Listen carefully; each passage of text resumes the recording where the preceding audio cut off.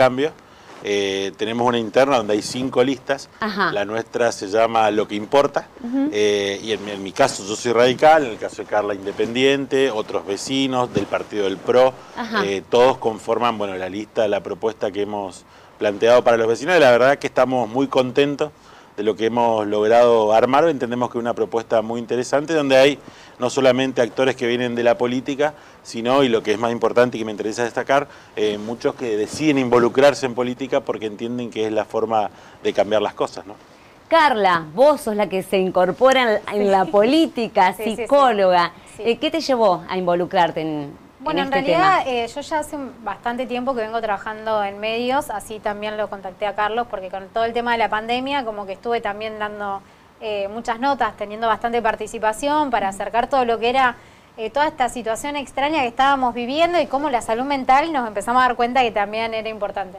Cuando Carlos me invitó, obviamente dije que sí porque me parece que todo cambio es importante poder producirlo desde adentro, teniendo la oportunidad eh, y dije, bueno, ya estoy metida en tantas cosas, la verdad que no me va a hacer mal, yo trato, como le dije a Carlos el primer día y siempre digo, trato de ser apartidaria, pero a política no podemos ser, porque todo el tiempo estamos sí, haciendo porque uno se queja, pero tampoco no hace nada para cambiar las cosas a veces. Sí, totalmente. Además, la gente que por ahí dice que es apolítico es imposible, porque vivimos en una polis, digamos, todo el tiempo nos estamos relacionando. Entonces, eh, por ahí está bueno dejar un poco la queja de lado, que es lo que siempre proponemos los psicólogos, e involucrarnos un poco en el cambio. Y bueno, cuando me lo propuse, obviamente accedí.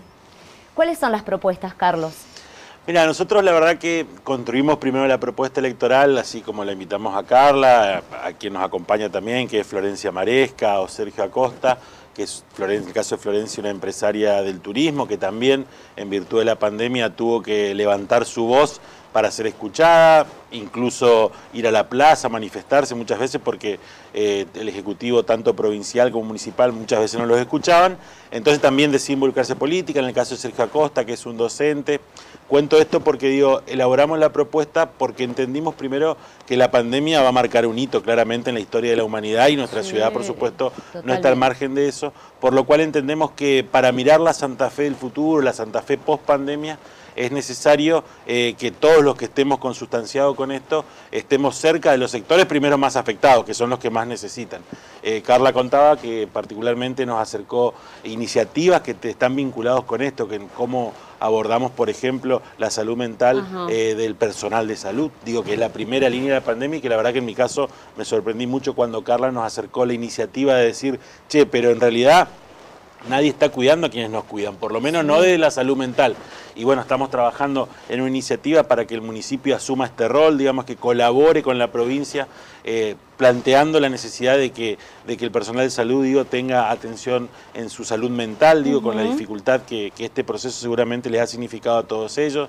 Eh, queremos trabajar en la recuperación comercial, digo, ha habido una caída muy importante y un sector muy, afectado eh, por, por esto de la pandemia, queremos trabajar en esa recuperación.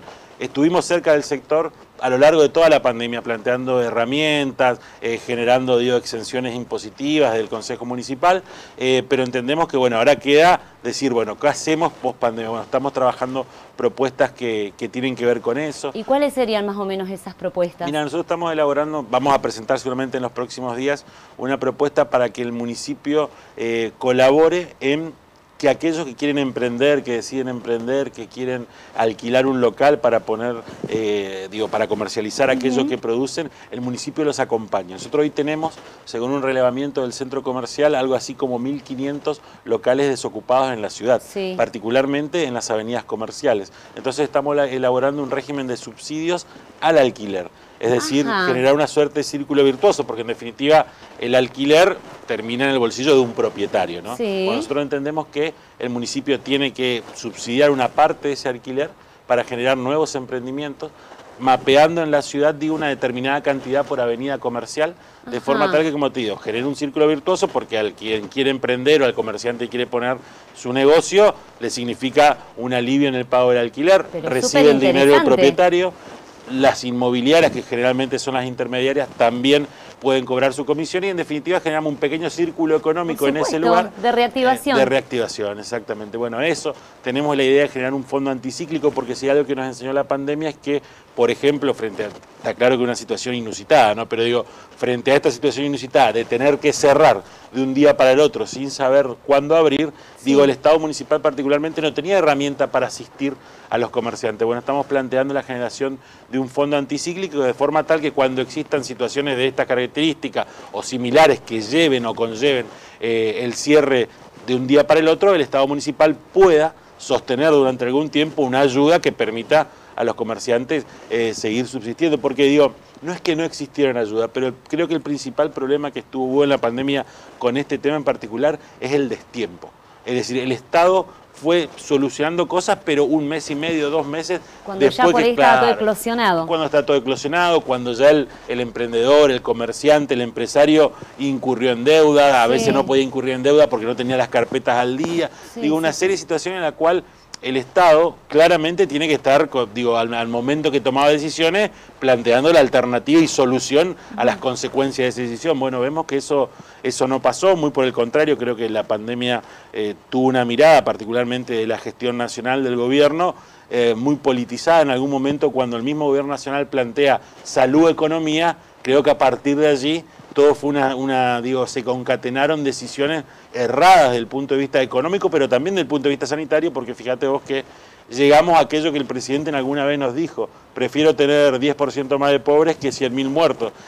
Y a esta altura de la pandemia vemos que tenemos las dos cosas, 10% más de pobres y más de 100.000 muertos. Entonces, claramente hubo una mala gestión de la pandemia y esto tuvo que ver, en mi visión por lo menos, porque se politizó parte de ella y en definitiva porque tampoco las herramientas estuvieron a la altura de las circunstancias. Bueno, totalmente interesante esta propuesta para, para, las pymes, para los comerciantes que son en definitiva los que mueven el círculo eh, de la ciudad, el círculo interno.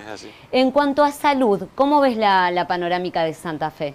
Mira, eso capaz que Carla puede contarnos a ver qué, piensa ella que viene del rubro. Yo puedo hablar desde la salud mental y obviamente tengo pacientes... totalmente trastocada por esto de la pandemia. Totalmente, y además yo tengo pacientes que trabajan en el sistema de salud y tengo familiares que trabajan en el sistema de salud. Y la verdad es que ha sido una situación bastante, bastante compleja, un descreimiento total también de la población que llegó a un estado, digamos, de, de hartazgo, entonces esto no colaboró porque, bueno, por ahí tanto encierro eh, yo creo que fue eh, productivo, pero hubo un montón de restricciones que tal vez la gente en un punto empezó a descreer y se empezó a abrir todo y hemos visto situaciones que por ahí se han desbordado y que han reforzado el hecho de decir, bueno, si salimos a festejar tal cosa, si vamos a tal lugar, eh, ¿por qué yo no puedo salir a un bar o no puedo ir a una fiesta? Y ahí se empezó, digamos, como a desmadrar un poco todo. Yo siempre obviamente abogo por, por seguir las reglas y que yo creo que todas las indicaciones que nos dan tienen que ser así. Pero bueno, eh, el tema de la salud mental, por ejemplo, que es mi campo en particular, y hay un montón de gente que, ha incrementado todo lo que es eh, las situaciones de ansiedad, la depresión, gente que se han reforzado los síntomas de manera negativa, por ejemplo, la gente que es agorafóbica, que tiene miedo a salir a la calle, o la gente que tiene fobia a las enfermedades, de repente le llegó esto y es como una bomba, es un retroceso muy, muy grande. Entonces realmente necesitamos gente que esté preparada para acompañar y como el proyecto que le presentamos eh, a Carlos con una colega, esto de decir, tenemos que acompañar a aquellos que nos están cuidando, porque el personal de salud de repente llega a un lugar donde eh, están desbordados o en alguna época estuvieron desbordadas las camas, donde encima por ahí veían por televisión que había festejos o velorios o lo que fuese, un montón de situaciones que por ahí no colaboraban y que al personal de salud lo terminaba cansando mucho, digamos. por supuesto. lo que nosotros eh, conocemos en psicología como el, el desgaste por empatía o el burnout, esto de estar todo el tiempo con el sufrimiento humano, pero a la vez darse cuenta de que un montón de gente no seguía las indicativas y el miedo siempre a enfermarse, el tema de la discriminación de que si eras portador también de la enfermedad en un principio, que los médicos, los enfermeros eran como que le dejaban notas de que no eran bienvenidos y toda una situación que fue muy difícil. Entonces, desde la salud mental por lo menos tratar de acompañar y de ayudar y darnos cuenta de que nos dimos cuenta a partir de esto sobre todo, eh, de que la salud mental es tan importante como la física, tiene que haber una unión, una coordinación. sin lugar a dudas.